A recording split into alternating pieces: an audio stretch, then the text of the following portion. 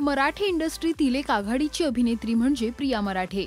आजची आघाडीची खलनायिका म्हणून ओळख असलेल्या प्रियाने तिच्या आजवरच्या प्रवासात वेगवेगळ्या भूमिका साकारल्या आहेत जाणून घेऊया तिच्या विविध भूमिकांविषयी. नाटकांमधून काम करता करता प्रियाने मालिकांमध्ये काम करायला सुरुवात केली.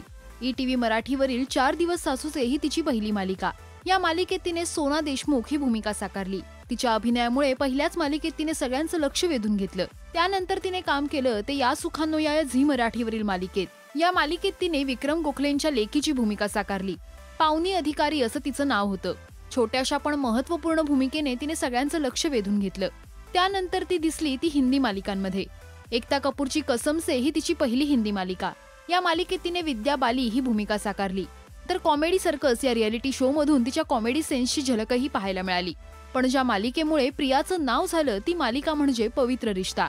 या मालिकेत तिने साकारलेल्या भांडकोर महत्वाकांक्षी वर्षाने सगळ्यांचं मन जिंकून घेतलं. सुरुवातीला सहाय्यक भूमिकेत दिसणारी प्रिया त्यानंतर या मालिकेत निगेटिव्ह भूमिकेतून प्रेक्षकांच्या भेटीस आली.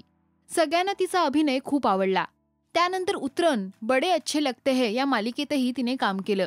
पण तिचं आजवरचं सगळ्यात जास्त आवडलेलं आणि गाजलेलं काम म्हणजे झी मराठीवरील तू तिथे मी या मालिकेतील.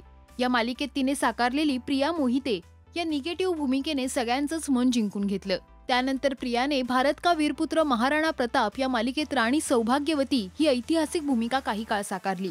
त्यानंतर भागेरे मन सात निभाना साथिया आयुष्मान भव या हिंदी मालिकांमध्ये तिने साकारलेल्या हिंदी भूमिकाही गाजल्या. तर झी मराठीवरील स्वराज्य रक्षक संभाजी या मालिकेत तिने काही काळापुरती साकारलेली गोदावरी ही भूमिकाही चर्चेत राहिली. तर स्वराज्य जननी जिजामाता या मालिकेत तिने रायबागन ही ऐतिहासिक भूमिका साकारली. तिच्या अभिनयाने सगळ्यांचंच लक्ष वेधून घेतलं.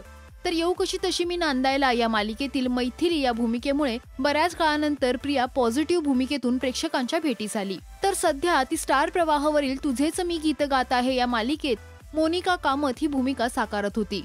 या मालिकेत तिने साकारलेली ही निगेटिव्ह भूमिका चांगलीच गाजत होती. पण नुकतंच तब्येतीच्या कारणास्तव तिने ही मालिका सोडली.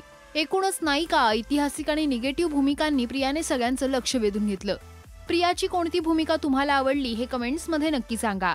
मराठी टेलिव्हिजन विश्वातील बातम्या अपडेट आणि गॉसिपसाठी तुम्ही सबस्क्राईब करा राजश्री मराठी शोबत.